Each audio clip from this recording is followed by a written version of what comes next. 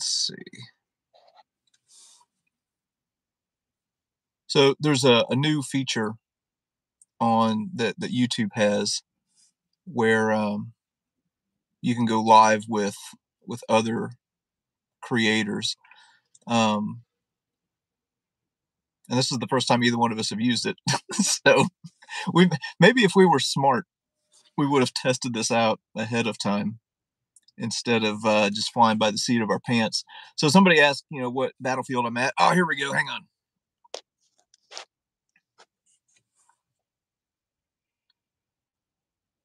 I just clicked add. Hey, there he is. Hey, Hey. working. Yeah. All right. Cool. I tried doing like a, a landscape view, but I it wouldn't let me. Um, Yeah, it must be kind of like uh, how Instagram does it when Sarah does hers. Looks like it's the Yeah. same deal. Yeah, it's kind of what I'm guessing. It's a vertical video format. Um, so I'm I'm uh, going live uh, from my vehicle, obviously. Uh, so for anyone who's watching, I I live in the woods, and my internet service is absolutely terrible at my house. So a lot of times it ends up being blurry. It's actually better for me to come into town and you know, go live in in this manner. Uh, it's going to be Yeah, lot. I, I've got a similar problem. The hotel internet where I'm at in Charleston is awful, so I'm just using my cell phone signal. Okay, yeah. So anyway, you're you're in you said you're in West Virginia, right? Yeah, I'm uh, Cross Lanes, West Virginia. It's about ten miles west of uh, Charleston. Okay. Speaking engagement. Yeah, I'm uh, speaking in an elementary school here tomorrow, and then driving home. I'll uh, I'll have been gone for less than 24 hours by the time I roll back into home tomorrow. Oh dang. That's, Yeah. That sounds like Four a. hou- That sounds like Yeah. a JD. Uh, Yeah, it was four four hour drive. I just fin- got here about an hour ago, and then four hour drive to go home tomorrow. all right. So can can you see the comments on your end? Yes, I can. Yeah, yeah, I can see them. All right. So yeah, if anyone has questions along the way, I mean, sometimes these roll by pretty fast, and it's it's difficult to catch them, but uh, we'll we'll try and you know do our best with it. Uh, like I said, this is something new for me. Um, but anyway, hey, uh, I've caught your first two episodes uh, from from the Western Front. Um, so I need to clear something up real quick. Yeah. Is is it Eep or Ypres? Okay, so uh, it's actually neither one. If you ask the people who live there, that's one of the Oh. questions I had too. So the spelling that people usually use, Y P R E S, is the French spelling, and it's pronounced like Eep or Yper, you know, Ypres, something like that. But Okay. they don't speak French in that part of Belgium. So they they speak it's the Flemish part of Belgium, so they speak Dutch. And so on all the signs there, and the way they pronounce it is it's I E P E R. It's pronounced Eper. Eper. Yeah, so that's how the that's how the, the natives who live there pronounce it Eper. Um, but the way we always see it spelled is the French spelling, but that's not a French speaking part of Belgium. So it just that was how it was on all the maps at the time during World War One. So that was what they went with. And of course, the British they called it wipers. So so yeah, so I've heard it. I've heard it pronounced Eep. Yeah. Uh, do you listen to? Have you listened to the uh, old Frontline podcast? Yeah, uh, yeah, and I, and I was actually listening to Dan Carlin's podcast again on the way down here, and he Okay. and he does like Ypres. That's how he says it. But it was only when I went there that I learned for sure. Definitely Ypres is what they say there. Eeper. Okay, because Yeah. on, on Frontline, he he pronounces it Eep. Mm. Um. Yeah, I've heard it that way too, and I, I kind of you'll even hear in some of my videos. I kind of bounce back and forth a little bit with it, but it was actually I ran into a local guy and we started talking, and he assured me that it's definitely Ypres is what they say there. So. Okay. I'm terrible at any foreign language. it's it's the one thing that I will uh, say that that I do well is is mispronouncing foreign names. Um, so like the the city that that we all pronounce Reims, R E I. Mm, yeah, Rem, Yeah. yeah, Yeah, e- even you just said it wrong. yeah, Uh, yeah. Like when I was there, we we went to Normandy, and um, I was telling the guy he, he didn't speak much English, but I was telling him where we were, and I was like, "Hey, we, we just came. We were in Reims last night. You know where they signed the surrender." And he was like, "Huh?" And I, I kept saying it and trying to describe it. So finally, I wrote it down, and he's like, "Oh no!" And and I can't even say it right. He goes, "It's Crom," Yeah. some weird guttural sound. Um, Well, and a, a lot of we get messed up because of things like Band of Brothers. They say Reams and they say Foy, but it was Foy, you know that kind of stuff.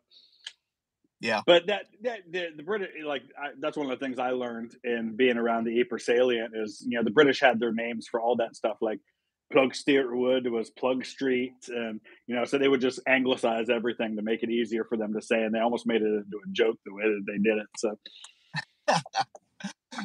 shoot. But anybody who's who's watching this right now, uh, holy smokes, we actually got quite a few people in here. Um, so Chris uh, has got the channel vlogging from through history. Uh, we, we've done some some work together before. Uh, actually, did a collaboration on uh, Antietam series. Uh, so we kind of bounced back and forth on that. He would cover things from one angle, I would cover it from another. Um, and one one of the the big gaps on one of many big gaps, I guess you could say, on my channel is, is World War One history. Uh, so if you're into World War One history, uh, Chris is definitely filling that gap over on his channel. You, you've been several places along the Western Front. I know Verdun. yeah, Um, the, the Somme, uh, Belleau Wood, um, Vauquois, um, a lot of the places in the um, Argonne Forest. So yeah, I've, I've pretty well covered most of the big places on the Western Front at least once now, even if it was just for a few hours. Uh, Yeah. There's still a few, like I've got to get to Vimy Ridge and a few other places still, but I've covered quite a bit of it. I, I've actually I put some books on my Amazon wish list today, talking about like the Canadian role in in Mm, War One. I'm really going to dig into that and and educate myself because my my uh, knowledge level, excuse me, is is only surface when it. When, one of the things that I have been more and more understanding, especially after going to Ypres, is fairly certain the Canadians, pound for pound, might have been the best fighters on the Western Front. They were just unreal. Some of the some of the battles they were involved in, and some of the things they were able to accomplish. The Canadians uh, and the Australians, in particular, uh, in and around Ypres, just amazing stuff. Just blows me away. If I'm not mistaken, I think that in 19 from 1917 to 1918, or maybe 1916 to 1918, the the Canadians did not register a single loss in a battle. That doesn't surprise me a bit. I mean, they were the ones who, I mean, they were, you know, obviously Vimy Ridge. They were the ones who held the gap uh, at Ypres when the gas attack happens in April of 1915. The first use, like mass use of poison gas on the Western Front. The Germans unleashed this chlorine gas in April of 1915, and the six kilometer gap opens up in the line. And some, I've, I've read some historians who argue, I don't know if I agree with them, some who argue that if the Germans had been able to exploit that, they could have won the war because they would have taken Ypres, they would have gone to the Channel, they would have had access to those ports, and who knows what might have happened. Um, but it's the Canadians, it's a couple of battalions of Canadians who go in there and plug that gap and hold the line when everybody else, when the French and everybody else have fallen out. Um, and then it's the Canadians who uh, take the last 800 yards of Passchendaele, this slugfest uh, that costs you know maybe as many as three quarters of a million lives, and uh, just ridiculous uh, stuff that they were able to accomplish. Uh, so, so Ypres, there, there's three major battles that were fought there, right? Yeah, I mean, and, and you know the weird thing is, like a lot of these places, those we have the three big battles, but those battles are really a bunch of battles. Just like you know, when we talk about a battle like, um, um, oh, what's the big tank battle on the west on the Eastern Front in World War II with the Russians? Ah, Kursk. Like Kursk, we call it a battle, but it was really like a campaign that involved a bunch of battles, like Prokhorovka, Prokhorovka, and things like that. So Ypres the same way. It, it's you know, it's just like 20 mile long front, and you have these big battles, but some of these battles last three or four months. It's like Verdun. Verdun was almost a year, but we call it one big battle. But yeah, um, you've got the first Battle of Ypres, which happens in the fall of 1914, and that's right about when they're starting to settle into trench warfare. It's right at the end of what they call the race to the sea, where they're yeah. trying to outflank each other until they run out of places to outflank each other. And then the uh, the Germans actually take the town of Ypres, but then they they pull out. The British then come in. The French are on the north side. The British are on the south side, and you have some fighting. A couple hundred thousand casualties. I know we talk about these numbers like they're nothing, but yeah. in in the grand scheme of things, they're not. Um, second Battle of Ypres then is uh, spring of 1915, and that's when you have the gas attack, and that's when you have the first use of mines at places like Hill 60. Uh, and then the third Battle of Ypres is the one we call Passchendaele, which is the longest and the bloodiest of all of them. And that's like July to November of 1917. There's other fighting, and there's another battle that happens called the Battle of the Lys in the spring of 1918, but that's part of what we call the Kaiserschlacht offensive. So it's like a much broader than just Ypres at that point. But yeah, those are kind of the three big ones. Okay. All right. Now, when you're, are you two or three episodes in on this series? Uh, two. I'm getting ready to have. Well, I, I mean, I had the like the the preview thing, but two episodes. Third one's going to be going live this weekend. Okay. And that's right. going to be uh, Essex Farm, which is um, that's going to focus on spring of 1915. Um, John McCrae the Canadian who wrote uh, In Flanders Fields. Yeah.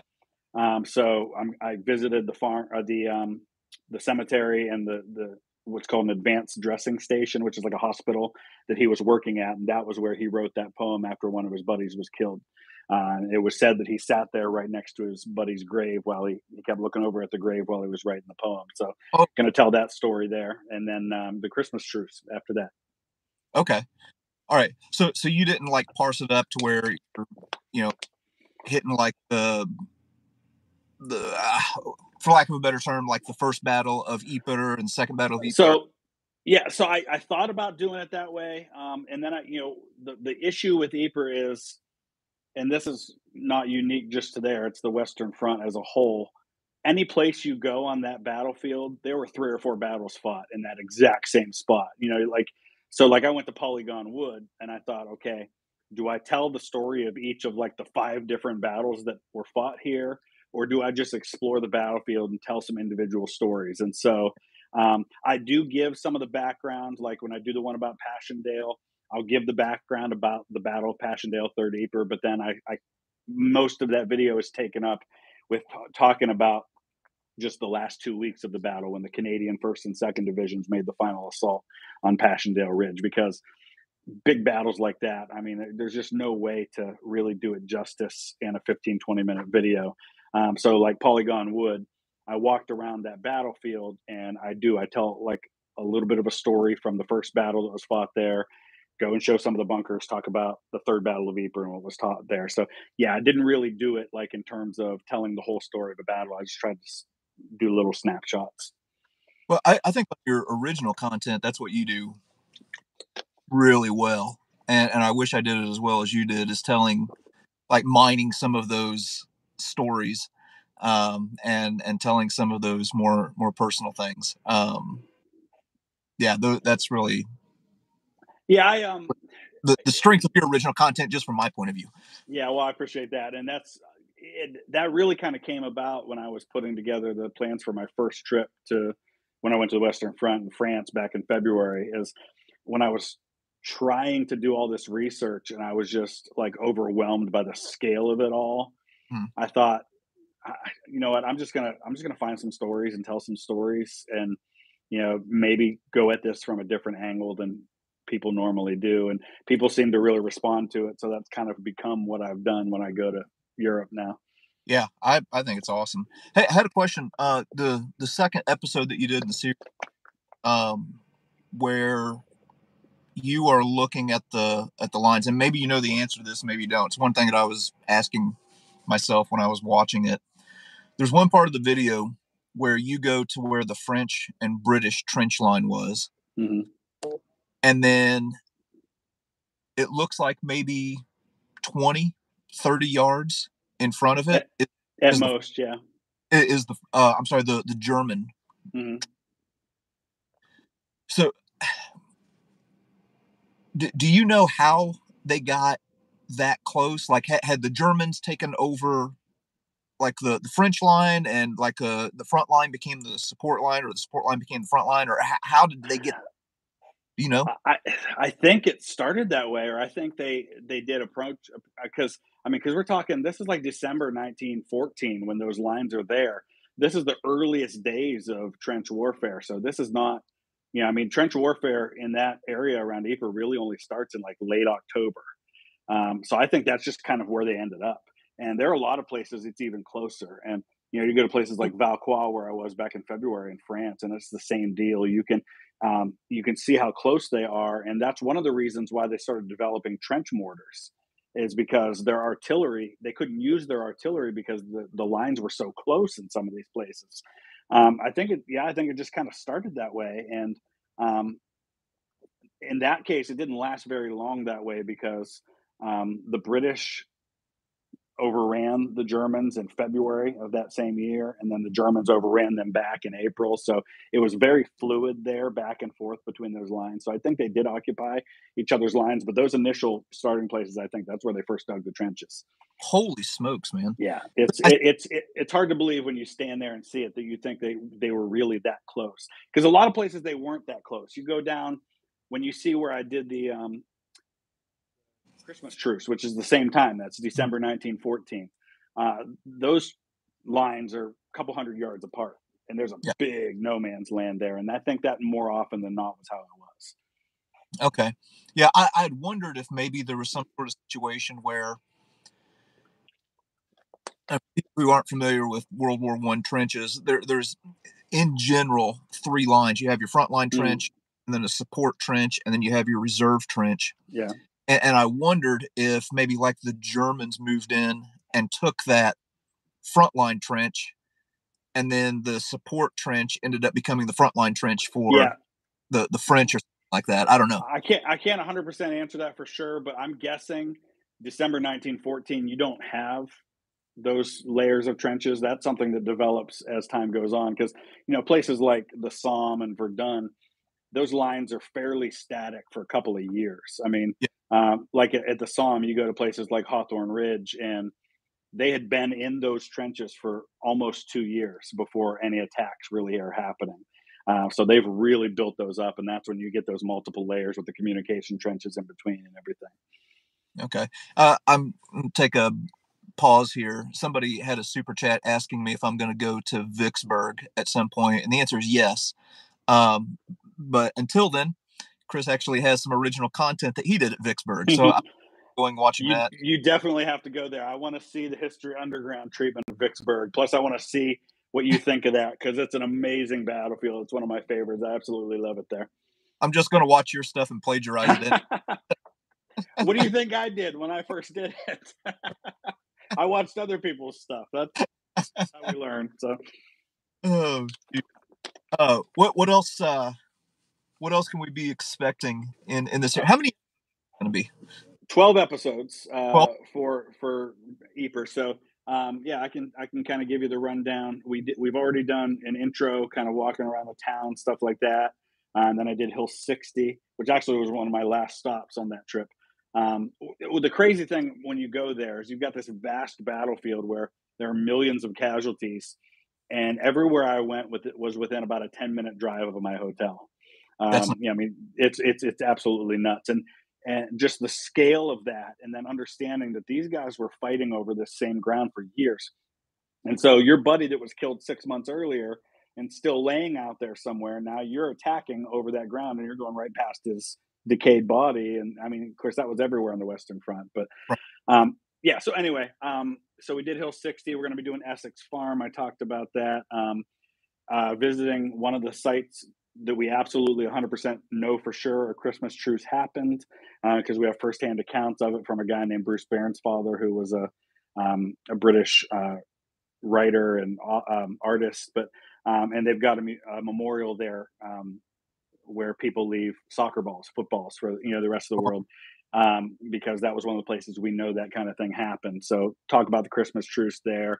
Um, do a video about Passchendaele and the Canadian first and second divisions, their final attack. There's this just incredible spot where you stand at the Canadian Memorial and uh, you can see a church that's like 700 yards away, and it took them 10 days to get there. Oh, Um, yeah, it's just oh, it's it's ridiculous. And um, so, going to visit a place called the Trench of Death, uh, which is actually not part of the Ypres salient. It's a little bit north. It's about halfway between Ypres and Calais, um, or, or in Dunkirk, halfway between Ypres and Dunkirk. It's about 10, 12 miles from Dunkirk. Um, and it was the place where the Belgian army made their stand. And it was like the place where they stopped the German army um, and fought in this exact, this 300 yards of trenches that are preserved there. Um, and fought there for, for four years. And they called it the Trench of Death because so many men died there on a daily basis in this one spot. So you say stopped? Talking like race to the sea stopped them? Yeah, it was like when the race to the sea happened. It's right along the Yser River, right there, uh, and um, right at the end of the Trench of Death. Then is a about fifty yards away from the end of the trench is a German bunker, and that was where the Germans got across the river. But that was as far as they got because that bunker, like they couldn't couldn't get past it. So you see the bunker, and then you see the Belgian trenches, and it's just an amazing. It's by far the biggest trench system preserved Oh. that I've seen anywhere. It's incredible. Um, and I have to thank our friend uh, Sander VK History for telling me that I needed to visit that one. So um, I talked about Polygon Wood, which is an incredible site with a lot of history there, and um, visited the cemetery in the middle of that. Um, did an episode about um, there's a little town called Poperinge, which is um, just outside of Ypres, west of Ypres, uh, and that was where most of the um, British trials and executions of deserters took place. Oh, Um, so I visited. Um, there were about 300 British and Commonwealth soldiers who were executed for desertion during the war, uh, and about one in six of them were executed in that one town.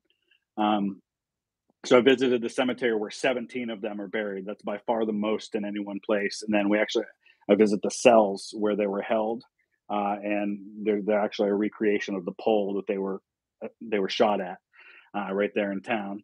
Um, so tell some of their those guys' stories. Most of those guys who were shot were very clearly suffering from what we would call PTSD today.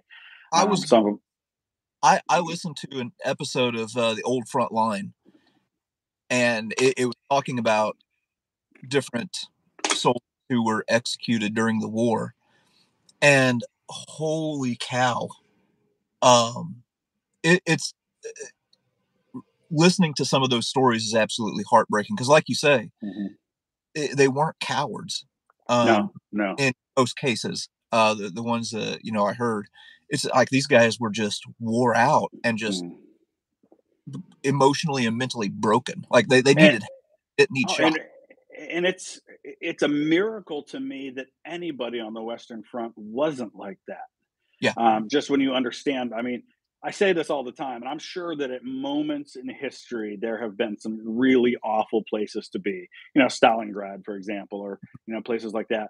But pound for pound, the average experience of the soldier in World War One has to be the worst in history. Like for the average soldier, like just the the mass of men who experience just things that we can't even wrap our minds around. Um, and for any of them to come out in any way sane is just a miracle to me. And yeah, like you know, one of the stories that I tell in that is this guy, um, Eric Poole was his name, and he was an officer, and he was a volunteer. This guy signed up. He wasn't drafted. He volunteered. Was on the front lines for a long time. He's at the Battle of the Somme, and he has an artillery shell hit real close to him that knocks him senseless and nearly buries him alive. And it's at that moment that he just kind of he breaks. And but he continues to serve, and they put this guy in command of a platoon on the front lines at Ypres after that. Uh, and then at some point, he just goes out of his senses, ends up wandering around aimlessly. Everybody who encountered him said the guy had no idea what was even going on. They had doctors testify that was the case. His brigade, division, and corps commanders all said that this guy should not be executed for this. And Douglas Haig, the British commander, signed off on it and wrote in his diary that day and said, listen, people need to understand that the, the law is going to be the same for an officer as it is for the common soldier. And he made an example of this guy. And there was no business whatsoever this guy should have been on the front lines. Wow. Um, so yeah, those are the stories I'll tell with that one. Um, going to visit Tyne Cot Cemetery, which is the largest British military cemetery anywhere on the planet, uh, and it's there at Ypres. Um, Menin Gate, probably the most emotional I got on this trip was visiting the Menin Gate, which is uh, um, it's this huge gate that's on one end of the town that's got the names of 55,000 uh, like British and Commonwealth soldiers, so British, Indian, Australian, Canadian uh, guys who were never found, who were never identified, who are either in unknown graves or still out in the field somewhere. Uh, and that's not even all of the missing from Ypres. It's just the ones they could fit up through August of 1917. The rest are at Tyne Cot on another memorial with another 35,000 names on it. Uh, and then every night since the end of the war, they have been doing this ceremony called the Last Post, which is like their version of uh, taps. Mm-hmm. Um, and they do it every single night. They gather at eight o'clock, and there were probably a thousand people there the night that I was there, and they do this every single night. Um, the only time they didn't do it every night was during the occupation of the Germans during World War II. I was going to ask the, about. Yeah, and the very day that the Polish forces liberated the town of Ypres, they did it, and they've done it every day since. In fact, there was still fighting going on in the town, but enough enough of it had been liberated that they started doing it again that day. And uh, from 1944 until today, they've done it every single day. Uh, incredibly emotional experience. I, I, recorded the whole thing, so it'll be in that video. Um, and then I visited the Langemark German cemetery, which um, has about 44,000 German soldiers buried in it. Most of them, I think 25,000 of them, are in a mass grave that is maybe 75 feet long and 30 feet wide. And there's 25,000 Germans buried in there. Um, so told some of the German stories when I was there. So that's that's I think pretty much all of them. Yeah. Okay. All right. Uh, I've seen some people who have just jumped in in the middle here. Uh, so we got Chris from Vlogging Through History. Uh, that's we're talking a little bit of World War One stuff, and then I also want to mention uh, I saw a super chat from Project Past earlier, um, and yeah, thanks for the super chat and the kind words. And anybody watching this, uh, definitely go check out Project Past channel. He, has got some incredible stuff. Um, yep. that uh, it's it's one of my favorite channels. Uh, let's see. Here's another super chat. It says, uh, "Thank you for keeping history alive, guys. What's the best place to see Rommel's planning for the D-Day invasion?" That's all you. That's your that's your wheelhouse now. World War II. um, I'm not sure if I like that that question could be taken a couple different ways. I, I don't know if you're talking about like a, a, resource, like a book to to see about his planning, or if you're talking about like a, a physical place. Um, and I kind of wish, wish Paul Woodadge was on here. Paul would be definitely be the guy. Um, there, there's a place. Oh crud, I can't remember the name of it just off the top of my head. I'm drawing a blank. My my brain is in World War One mode right now. Um, but you you can go see Rommel's headquarters uh, in in France. Um, but yeah, and then as far as a book, hmm, man, I would actually have to think about that as far as uh, a book. So, all right, I'm to uh, switch gears here uh, a little bit. Uh, w- would I be stepping on any plans that you have if I ask you about uh, All Quiet on the Western Front? Um, I'll talk about it a little bit, but yeah, I, I do have a video coming out about that. But uh, um, here's what I'll say about that. First of all, uh, we desperately need more good World War One content that shows that war the way it was. And from that standpoint, All Quiet on the Western Front does that. You watched it, didn't you? Did you see it? Yeah. Yeah. Uh, so I think it does a good job of showing that war, especially the beginning. You see the German soldiers all gung ho, all excited to fight for their country. And then very soon you see what war really is. And uh, um, so if people are like looking for a great adaptation of the book, that's not it. It's kind of loosely based on the book. It's inspired by the book, but it's not the story from the book.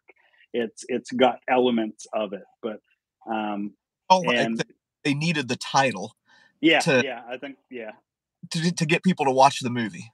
but I hope we'll get more of that uh, kind of yeah. thing. And there, there's one scene that is in the book that I'm glad they included, and I'll, I'll talk about that one in particular. It's when Paul, the German soldier, uh, ends up in kind of a hand to hand fight in the in the uh, the, the artillery crater with the French soldier, and he and he stabs him, and then you see that whole scene where he, he's like begging his forgiveness, and he even says in French, he says, "just je suis désolé, je suis désolé," you know, which is you know, I'm, I'm so sorry in French, and um, that that was so well acted and so beautifully portrayed what it must have been like for someone to take another human life up close like that for the first time who had never done anything like that before. And we forget these guys. These were not machines. These were not robots. These were human beings who we see that from the the, the uh, Christmas truce in 1914. They were not in a default setting to want to kill their fellow man. It took it took time to get them there. Um, so I'm glad they portrayed that. And uh, so I, I, I thought as a World War One movie, it was excellent and I watched it in German um, with the subtitles because I'm trying to work on my German anyway. So yeah, um, yeah, I thought it was great. I don't know what did you think of it? I I thought I thought it was it was really good. Um, except for the historical inaccuracies, right? well, no, I I mean even even in that, I mean that that didn't that didn't bother me. Um, it, okay, so if I have to offer, let me start off by saying that I like the movie so I I I don't want to sound like I hated it. Compliment or, sandwich. You got to say something yeah. good before you say something negative. Yeah. so, so here would be my criticisms. One, I had some trouble connecting with the characters. Mm. That and, and maybe that's just because I'm a meathead. Um, but I I had some of the similar problems connecting with the characters that I had the first time I watched The Pacific. Mm, yeah. And and as soon as I got to the end of uh, this adaptation of All Quiet on the Western Front, I thought I need to watch that again, and I think that I'll like it better the next time around once I, you know, kind of connect with the characters uh, mm. uh, more. Um, like I was able to connect with with Paul and then his his friend. I can't remember his name.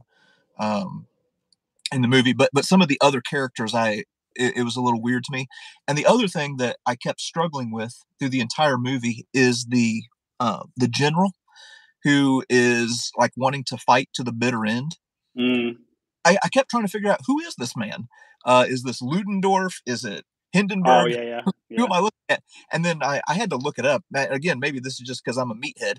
Um, and then I find out, oh, he's not anybody. He's just like, no, yeah. Because I thought the same thing when I when I saw it. I, I thought it, it, had to be Hindenburg, but yeah, no. Yeah. Um. So so th- that would that would be my only two criticisms of the movie.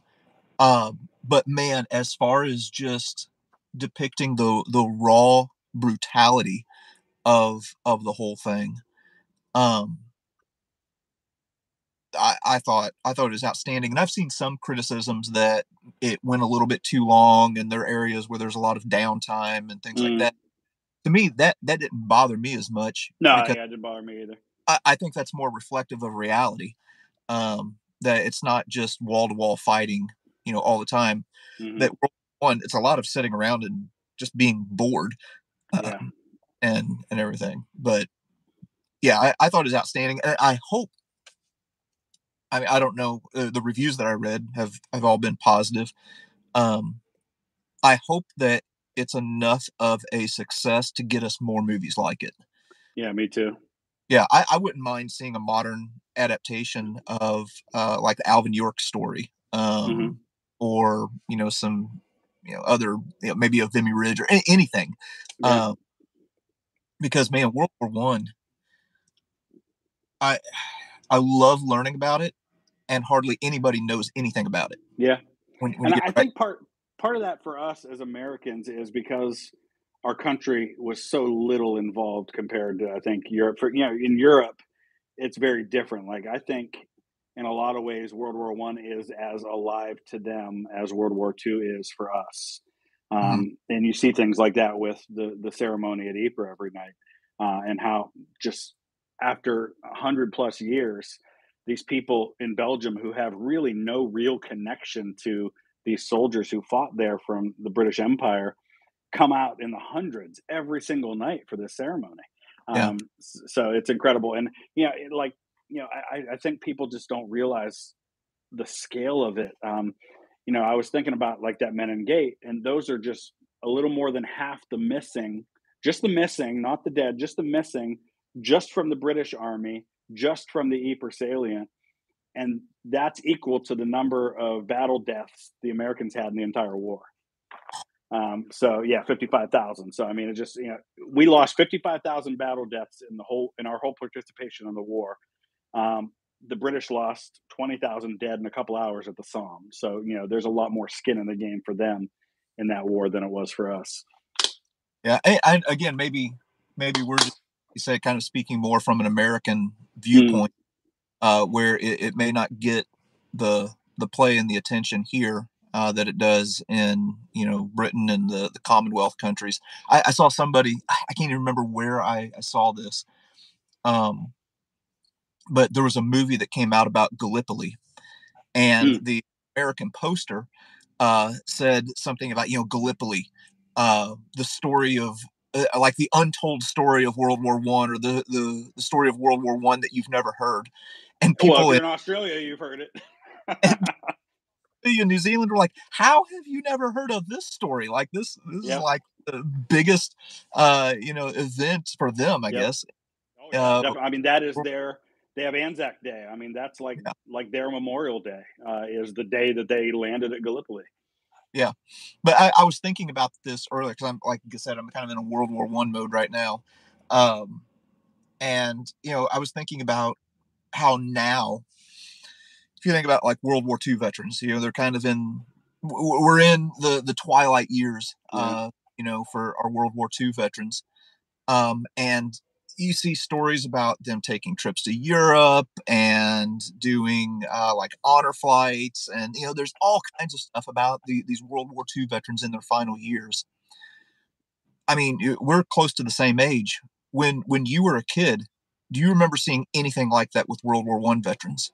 No, no, and I, I, honestly could not tell you if I ever remember knowing anybody who was a World War One veteran, and I know they were around because mm-hmm. um, the last one died in I think like 2011. So yeah, they were for, around, but I couldn't I couldn't Uncle, tell you a single one I knew growing up. Yeah, I me neither. Um, I I saw one World War One veteran my freshman year of college. I went to a um, a Veterans Day assembly that the college is putting on, and they had a World War One veteran there, and I and I just like saw him on the stage, and that that was it. But as far as you know, any news stories about World War One veterans or seeing mm-hmm. anything, you know, about uh, you know celebrating them or anything like that, man, there was there was nothing.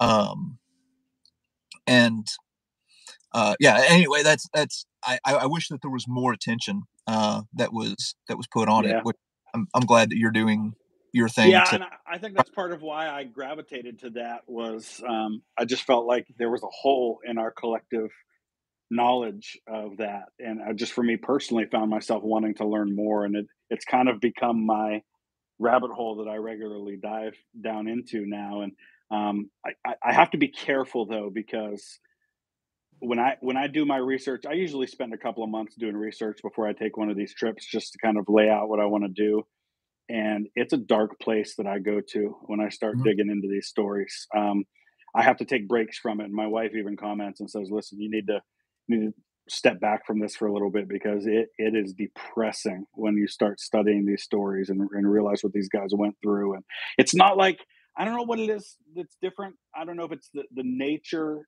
or the needlessness, the senselessness of it all. Like in World War II, you know, when you're following the stories of guys like Easy Company, yes, it's awful and tragic that these guys died, but it felt like they were dying for something, right? Like at the end, you felt like their sacrifice it meant something and it mattered.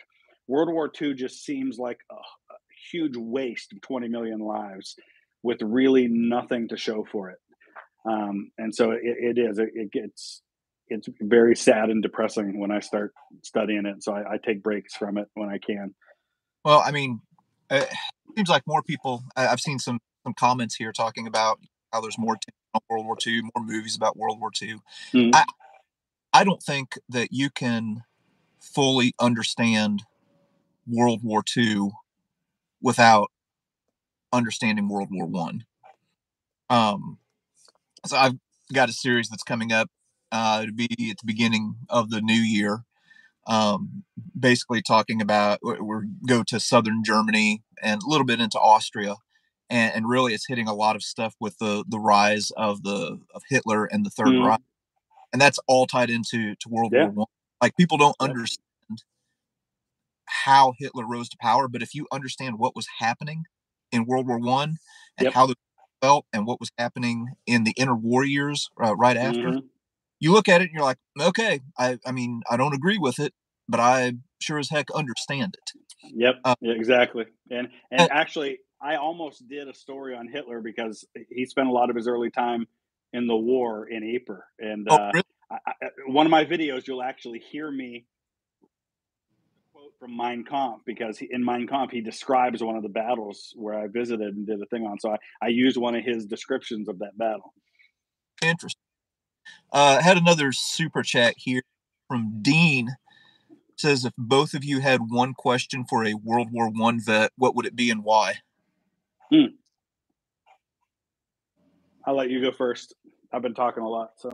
Man, I don't know. Um, I I think that I would want to sit down with my camera and hit record and just say, start from the beginning and yeah. tell um, because I, I guess I guess if I had to narrow that, that's that's not answering the question though. That's taking the easy way out. Um, I, I would probably want to have him describe to me. Well, depends on if you're asking an American or a, experience is a little bit different there. Yeah. Um, but but assuming it's like a, a British guy fighting in the Somme or something like that, um, I would I would want to know what is it like charging across mm. that man's land, um, and just kind of describe what what that whole process looks like, um, you know, from from beginning to end, um, or maybe what it looks like if you get into the enemy trenches, because that's when it mm. gets exceptionally yep. ugly.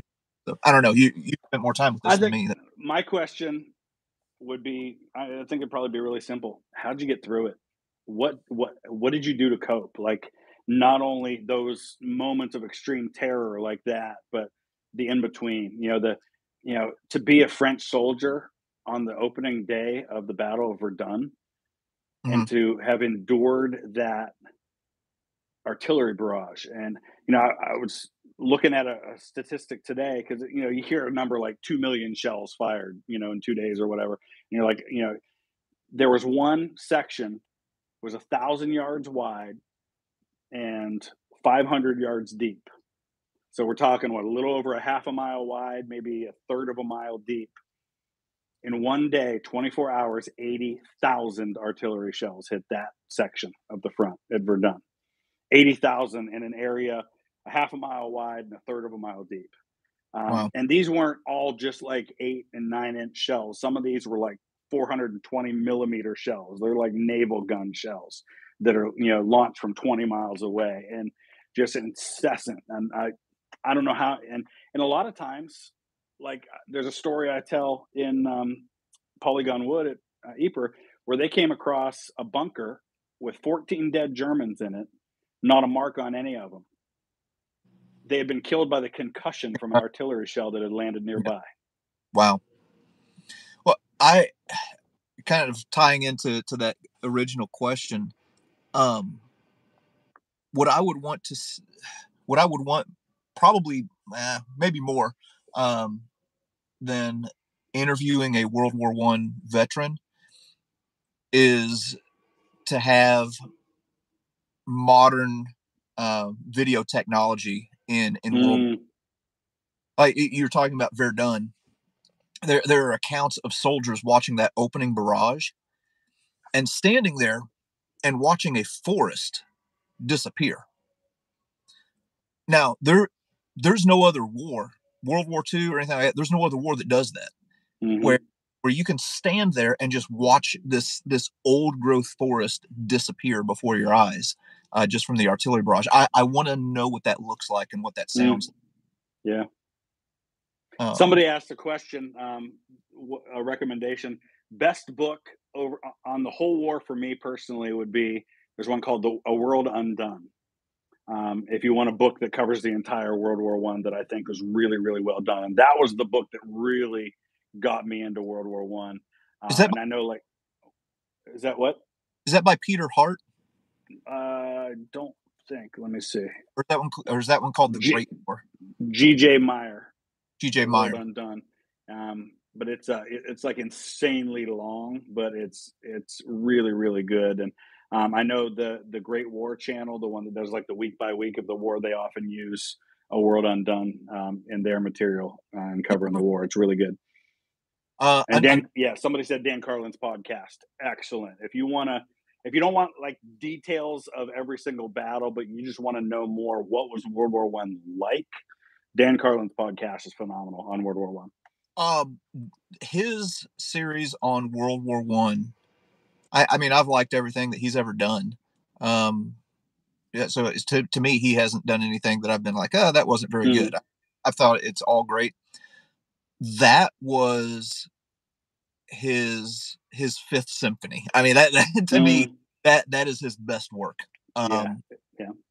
And and it's one of those things. I think he'll always do good work. I don't know if it'll ever, to me, uh, be better mm. than his stuff on Stalingrad was. I haven't done that one yet. I've done um, uh, the one Supernova in the East about the mm-hmm. Japanese mm-hmm. in the Pacific. Yep. I've done the ones on the Celtic Holocaust, which was excellent, and then the World War One. Those are the ones I've done so far. I'll, I'll, let you tackle this question. Somebody asked, "Does uh, 1917 the movie do World War One justice?" It's too clean. It's way too clean. It's too green. Uh, World War One by 1917 looked like the moon anywhere that there was any fighting, it was just b- black, no trees, and everything there looked like it had just been built a week before. Um, I, I, like 1917 as a movie, um, but it doesn't really accurately portray how horrible that war was. Uh, if you want that, All Quiet on the Western Front does a much better job of it. Yeah, I, I would now that I've had time to to let All Quiet on the Western Front kind of settle and simmer and everything like that, I, I would almost go as far as to say that's the best World War One movie that's ever been made. Yeah, unfortunately, there's not a lot of competition, but there's not a whole lot of competition. Yeah. Uh, there are yeah. good. There are good shows that like tell stories from World War One well, like um, um, the Beneath Hill 60. Uh, it's not a real high end, high budget production, um, but Beneath Hill 60 does a good job of telling, you know, telling that part of the story from the Ypres salient. Um, but it's not like on the level of All Quiet on the Western Front as far as the the money and the the work that they put into it. I, I liked 1917 when it gets to the the end, and yeah, they're they're charging across this green field. Um, part of me wondered, and, and they've got like the like these chalk trenches and and hmm. everything. Mm. Um, I, I do wonder like where that's supposed to be depicting the, the I battle. think I, I, think I mean just given the information that they share where they talk about how the Germans are gone, uh, it's got to be them falling back to the Hindenburg line, which they did. The the Germans in 1917, like 40 miles back from their front lines, they build this whole new line of fortifications, and then they fall back because it allows them to shorten their lines. And so that's why even when I was saying just now about how green everything was, the only hesitation I would give is the fact that okay, if that's what they're portraying as the Hindenburg line, well, there wasn't a lot of fighting that had happened there yet at that point in 1917 because they fell back to that position. Okay, all right. One thing that I I loved about 1917 is just how it was shot. Mm-hmm. Uh, cinematography of that movie is insanely good. The the scene after um, I, I can't remember the main character's name, but um, after he goes into that house and and he gets knocked out, so it's kind of like at the midpoint in the movie mm-hmm. where where he goes out and he's going amongst those buildings and there are these flares that are going. Mm-hmm. There's just like this movement of light uh, with the the music and everything. Uh, that that is one of the best pieces of cinema that mm. I think I've ever seen. I, I personally, I loved that scene. Um, and I think I think they intentionally wanted to do that because I read somewhere that this is going to be uh, Germany's entry into the like the foreign language category for the Oscars this year. Uh, so they they were like making this movie to be a cinematic masterpiece. Like that was their one of their goals with it. So 17. Oh, oh 1917. Oh yeah, yeah, yeah, yeah. Okay, I know I know what part you're talking about. That is it, it is really and it is shot really cool. And some of the scenes, like the one with him going into the bridge and, and yeah, and then discovering that town that's all kind of burn out and, at night. Yeah, that's all really well done. Yeah. Uh that I mean it is it, it's like a, a ballet. Um mm-hmm. I, I just loved it. Um but but yeah, I I hope that um I hope that All Quiet on the Western Front gets gets its proper due. Mm-hmm. Um, so we're we're approaching an hour here. Um, I I know what you've got coming up next as far as like travel and, and things like that. What uh, well, maybe I should open it up to questions first. Eh, maybe if anybody has any questions. Hang on, here's a super chat here. Uh, says, have either of you read With the Old Breed by Eugene Sledge?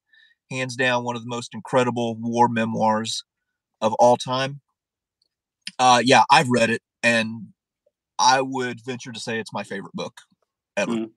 Uh, have you read it?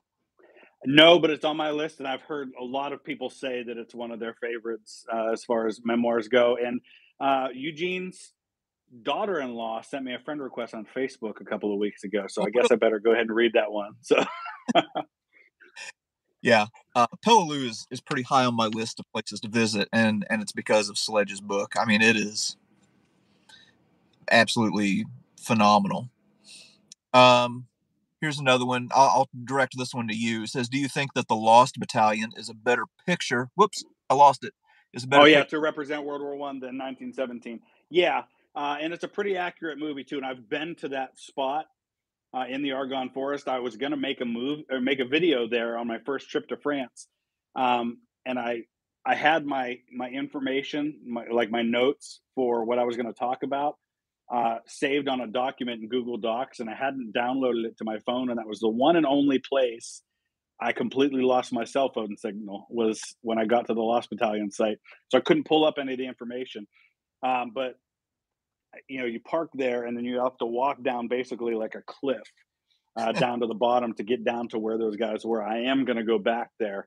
Um, yeah, that's a very good movie. Um, I'm glad now that I can call one of the actors in that movie a friend, Phil McKee, um, who played Colonel Strayer in uh, Band of Brothers. Yeah. Uh, he plays Captain McMurtry in the Lost Battalion. Um, and uh, we talked a lot about that when I was with him in Belgium a few weeks ago um, about that movie. I think it's really good. It, it, it, does a really good job of portraying that story um, pretty accurately. So it's one of my favorite, uh, personally, one of my favorite World War One movies. Okay. How, how would you square it up against 1917? Oh, it's much better than I mean, 1917 is a is a visual kind of cinematic masterpiece, mm-hmm. um, but I this is just my own personal feelings. I tend to shy away from fictional stories. I, I prefer the real life ones. So I'll take a Lost Battalion movie that doesn't look as pretty, but tells a real story that really happened over 1917, which might be set in a real time period, but is a largely fictional story. Probably the same reason why, and this might be blasphemy. After you get past the opening 20 minutes, I'm not really a huge fan of Saving Private Ryan. Uh, probably for the same reasons. I, I like Saving Private Ryan as a movie. Um, I, I even have problems during the first 20 minutes. Like I, mm. I have mm-hmm. to I have to divorce myself from reality. Um, you know, e- even during that. Yeah, see, that, you know a lot more about that than I do, so I I can see I can understand that. Yeah. Uh, somebody else, uh, History Savior 1941 asked favorite battle to study in uh, World War One. Um, the Somme. The Somme. Um, yeah. Uh, the, the, there's something about each one of them that hits me differently, but there was just something about the Somme now that I've been there that I'm really drawn to. Mm-hmm. Um, I don't know why. I, I, really couldn't put my finger on it. Um, I will say, having visited all the sites, the one that that you feel the most physically and really hits you the most visiting is Verdun. Verdun might be the saddest place I've ever been in my life. Um, and you physically feel that. Like it just you you just can tell what happened there when you go there. And I've never I've never felt that as strongly anywhere else in my life. The closest probably after that would be standing on the spot where the June 3rd attack happened during the Battle of Cold Harbor, that, that disastrous Union attack where like 5,000 guys go down in 20 minutes. Um, I, I, felt that there in that one little spot, but Verdun is like the death. It's it's there. It's still there, and it's uh, it's hard to describe without actually being there. Yeah, I I would say I'm of all the battles the the one that that I'm drawn to the most would be Verdun. Um, I mean, just the just the name Operation Judgment. Uh, yeah, where where the goal is, we are going to dump everything that we have into this area. Um, and I, I believe it was Falkenhayn said we're going to bleed them white. Yep. Yep.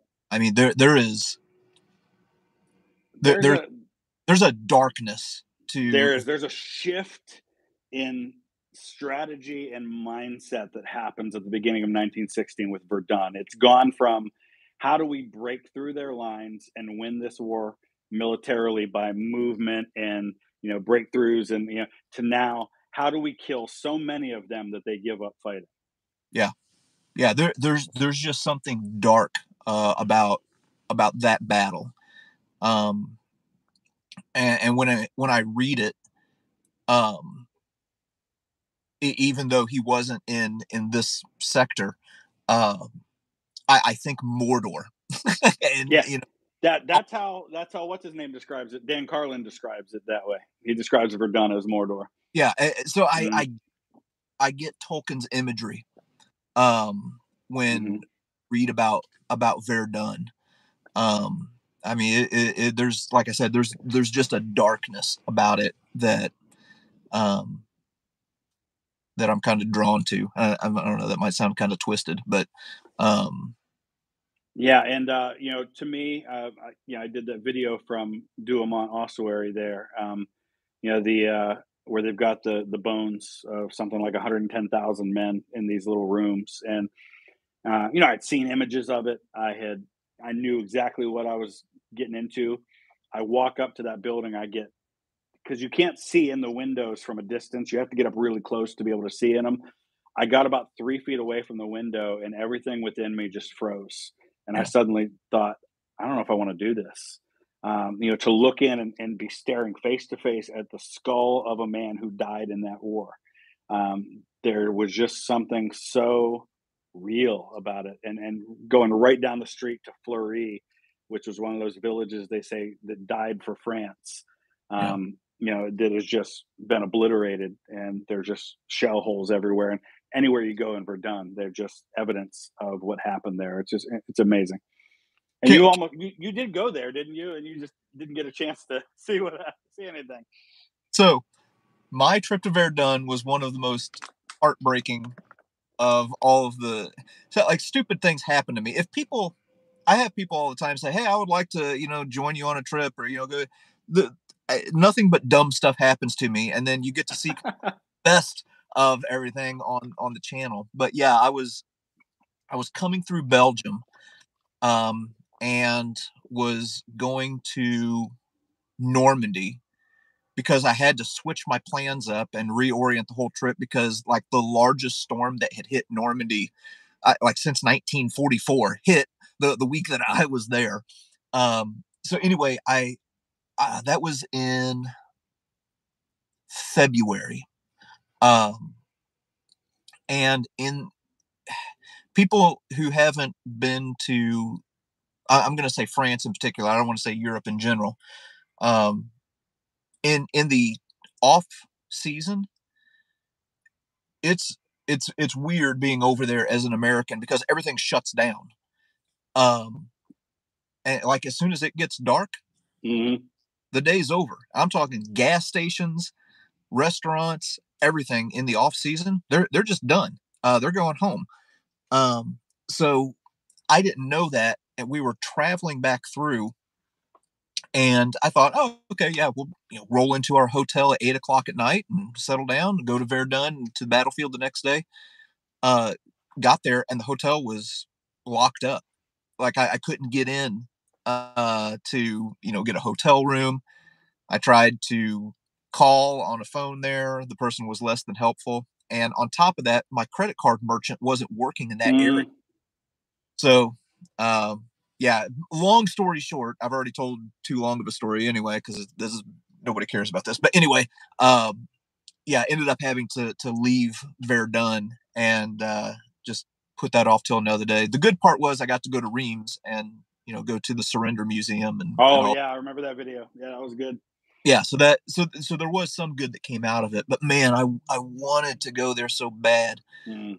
and i'm thinking about next summer oh, um, oh yeah making incredible the, the forts there that you know like fort douaumont fort vaux are these massive i mean yeah if you you and i have been to like forts like you know civil war forts and things like that i mean those got nothing. I mean fort douaumont you just go down and and you know just go on and on and on and it's massive. It's all underground. It's all preserved. Incredible stuff. Um, Verdun's a beautiful city to walk around. But yeah and the reason that whole story came up between you and me is because I had a similar experience at the Somme uh, where I showed up and nobody was at my hotel that I was supposed to stay in. The night that I was supposed I was supposed to be speaking to uh, one of your classes. And oh, yeah, I couldn't because I, I couldn't get into a hotel to get internet I, I just saw somebody ask. They said surrender museum question mark.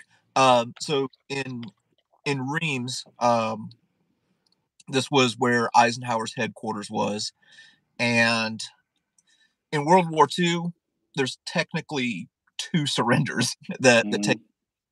Um, but but the first one where the the Germans surrendered uh, was in Reims. So I there's a video you can go on the channel and, and find it. Um, I forget what the name of that episode was, but um, anyway, go go to the room where the the surrender took place. So anyway, that's that's what I'm referring to there. Somebody somebody said that all we need now is for Gary from American Battlefield Trust to pop in as a surprise guest. We don't have room for his arms in this video. Oh it's, yeah. It's funny because and I think I, I commented to somebody about that one time. Somebody was commenting about his arms and I have a behind the scenes footage where I'm I'm standing behind you where you're recording him about to talk, and he has his arms are perfectly at his side. And the second he starts speaking, they get going, and it's just they're they're connected to his mouth. It's just a part of who he is, and that's just you know kind of indicative of the energy that he has when he gets talking about the Civil yeah. War and he gets excited about it. That's just who he is. It's great. we love it. I, I, had some uh, well, two things. I had somebody comment, you know, that the guy in the blue shirt needs to stop moving arm so much. And I replied, render him mute. Uh, like he, he would not yep. be able to talk. And, and I had somebody else ask, is, is Gary the same in real life as he is on camera? And yeah, hundred percent. He's totally. he's one of people. He's he's awesome.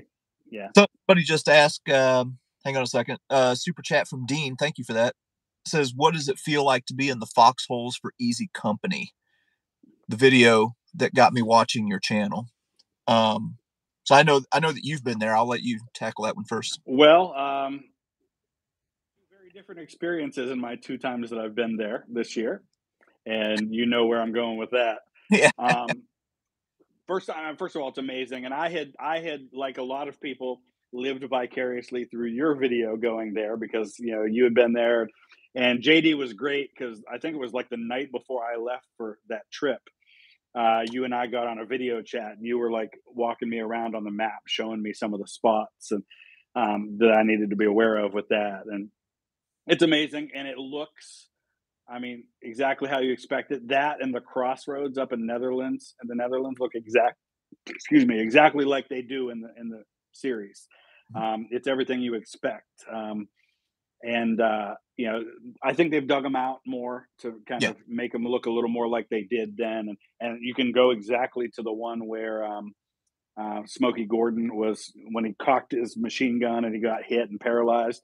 Like we know exactly which one that is, and um, I've actually now um, Reg, uh, who was our tour guide the last time I went, showed me exactly where um, Toye and Guarnere lost their legs, the exact spot where that happened. We found the exact location where uh, Winter's CP was um, because we knew it was in that clearing, but they told us there were six foxholes that kind of were dug around that CP, and we found the foxholes.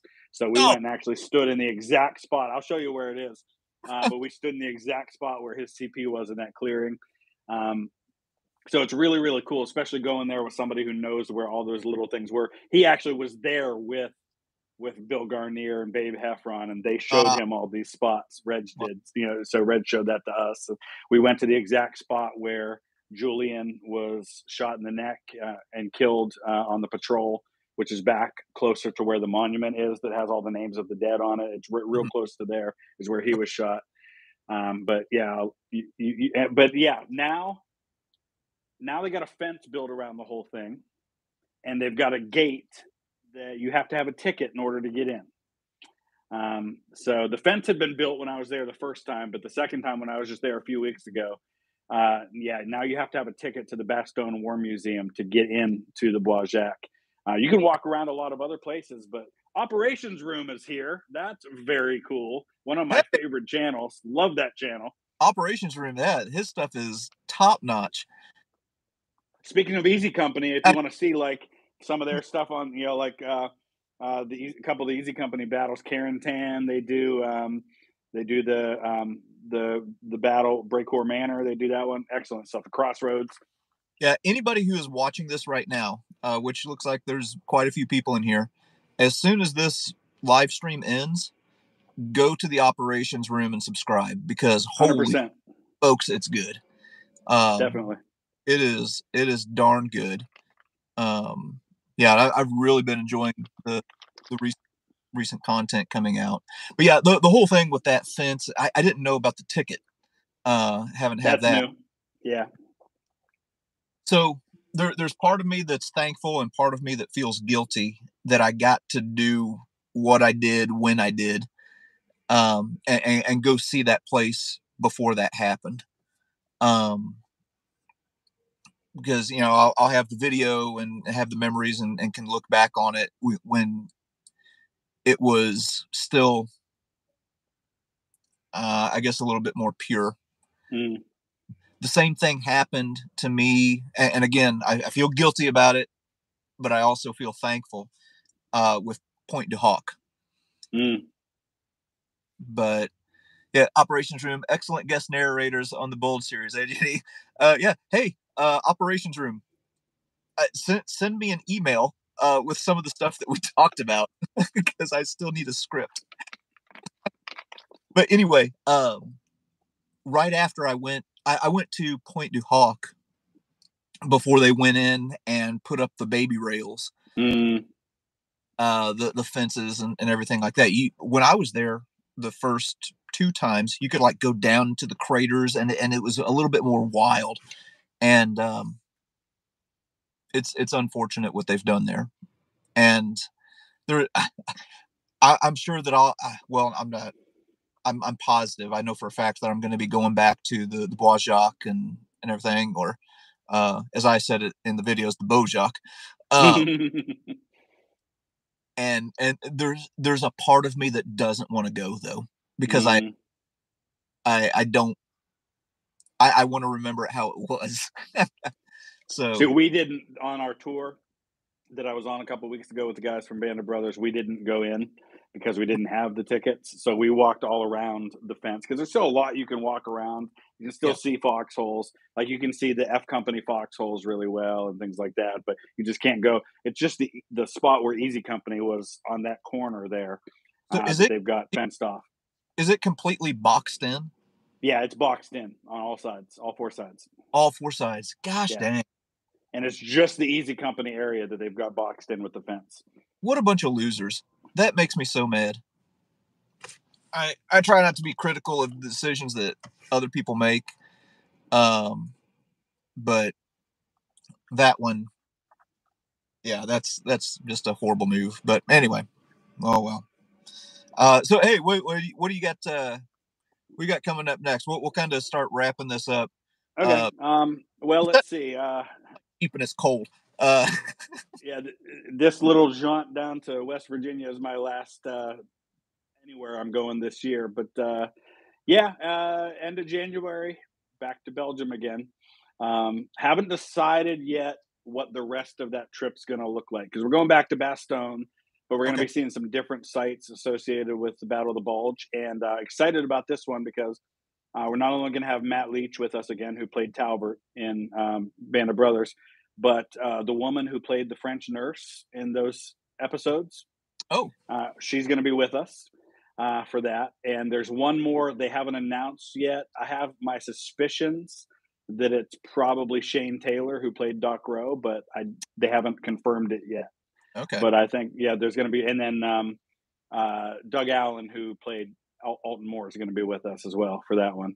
Oh, nice. Um, and uh, and I, I'm I'm told we're doing some like unique experiences this time. Like I think there's going to be something involving us actually going out into the foxholes in the dark before daylight and watching the sun come up and oh, kind of wow. a, it's like so so they're kind of planning some of those experiences like that but i may uh, since that's just a two day tour out of bastogne i'm trying to decide what i'm going to do with the rest of my week there because i'm not going to go all the way to europe and only go for the weekend i'm going to go for a week so right. um, i might be going to the uk um, fly into london do some history content and then take the train across the channel uh, over to Bastogne. Um, so I may be doing some things like I might go to um, uh, the Battle of Hastings and do the battlefield there. Um, might visit the um, some sites in London that I haven't gotten to yet, like the uh, HMS Belfast, which is the last remaining uh, British warship afloat from World War II. Okay. Um, and I might go even go up to places up in the north and try to do things like um, some of the Wars of the Roses stuff. But we'll see. I haven't decided yet what I'm doing with the rest of that trip. What about you? Um. So I've got as far as stuff on on the channel. Uh, hang on, I'm going to pause your question here for just a second. I got a super chat from Jeremy Scott that I want to uh, address. It says, "Have you thought about doing a video on the Second Rangers and the attack on Hill 400?" Uh, yes, yeah, absolutely. As a matter of fact, there's going to be a series that I've I'm working on for the future where where I'm going to go and um kind of get into to that kind of stuff. But anyway, uh, as far as stuff on the channel, what's going to carry us through the rest of the year is Revolutionary War content. So I've got the the first couple of episodes uh, that I've run right now. Um, if you haven't seen it already, they, have kind of had a little bit of a flat start, but maybe that's just the time of year, or I don't know. Maybe people get tired of looking at me after a while. Um, but had Boston Tea Party and Boston Massacre, but also going to be hitting Old North Church. Uh, and then I took Lexington and Concord and split it up into three hmm. different. Mm. Um, so it's going to be Lexington, Concord, and then the Battle Road. Um, mm, yeah, the, the British could all really cool stuff to see there, isn't there? Uh, it's, it's, there's a lot there. Yeah, loved it. Uh, except for the problem was I went at the wrong time of year. I went just after. When was that? I went the first week of November, which was absolutely crazy for me because that's right in the middle of the rut here where I live, uh, which um, it's like bow hunting and deer hunting. Mm but anyway, everything was closed, so I, I didn't get to film nearly as much as what I wanted. Um, and then did some cemetery stuff. Anyway, then the first of the year, uh, got a ton of content from um, Bavaria, so a lot of stuff mm. in. Um, and then we go down to Berchtesgaden. We're going up to the Eagle's Nest. Um, and then we go down into to Austria a little bit, but there, will be a lot of stuff from there. Um, as far as where I'm traveling next, I honestly don't know. I am uh, I am a man without a plan right now. For me, long term, like in 2023, I don't have firm details yet, but some things I definitely want to do. I've been working on my German lessons for a reason. So uh, Germany and or Austria is probably coming in 2023 at some point. Um, but uh, for sure, domestically, uh, Little Bighorns at the top of my list. I want to get out to that site uh, yeah. and do some content there. Uh, I want to do a whole series on the Battle of Shiloh. I've been to Shiloh, had a couple hours there, but that's a battle I really want to dive into big time. And while I'm at it, I'll probably do. I know you've been to Fort Donelson. That's a mm-hmm. site I want to get to as well. And uh, at some point I need to get back to Chickamauga and do a whole series there because there's a lot, a lot of stories to be told from Chickamauga. Yeah, I um, yeah. As far as 2023 um, I'm I'm planning on getting back over to France. I would like to link up with Paul Woodage and and do some stuff like inland at Normandy and kind of get off the beach because uh, that that doesn't get near as enough attention. Uh, like I said, I want to get to Verdun. Um, I thought about like trying to go to Greece and and do Ooh. some history. Nice. Uh, because I mean that's that's something I'm always wanting to kind of challenge myself and learn new things.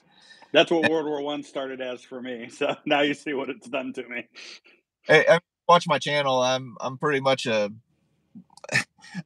Civil War and World War Two is you would think that I'm not interested in anything else than that, but um, but anyway, uh, okay. One last, maybe we'll take a few more questions here and then and then duck out.